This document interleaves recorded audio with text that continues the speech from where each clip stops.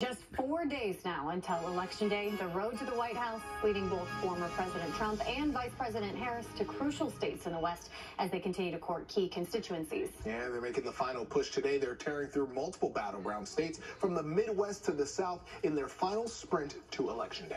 And as we count down to Tuesday, the candidates are feeling the heat and the knives are coming out.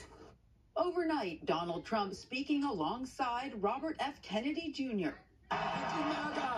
Despite his support for conspiracy theories around vaccines, Trump pledged to nominate him to oversee public health agencies, including vaccines and women's health.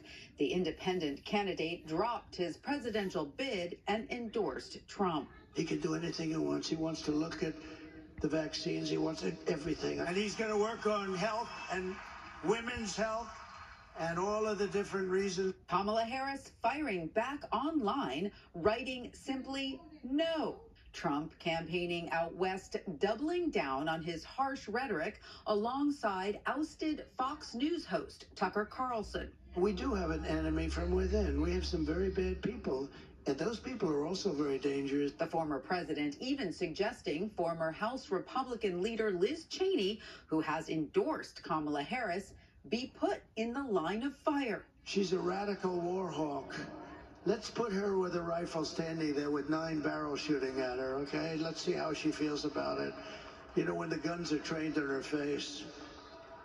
You know, they're all war hawks when they're sitting in Washington. Vice President Kamala Harris was in battleground Nevada, making a big push for the state's Latino voters with some big names. I believe in the power of Latinos. Harris leaning on superstar Jennifer Lopez to get out the vote. Lopez firing up the crowd, bringing up those racist remarks at Trump's rally at MSG. It wasn't just Puerto Ricans that were offended that day. Okay? It was every Latino in this country. It was humanity and anyone of decent character. I am Puerto Rican. Soy Boricua carajo. And yes, I was born here kids. Harris is also counting on women voters to drive her across the finish line, seizing on Trump's comments promising to protect women, quote, whether the women like it or not.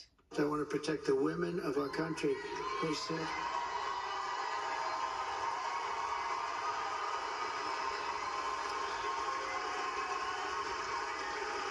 They said, sir, I just think it's inappropriate for you to say, pay these guys a lot of money. Can you believe it?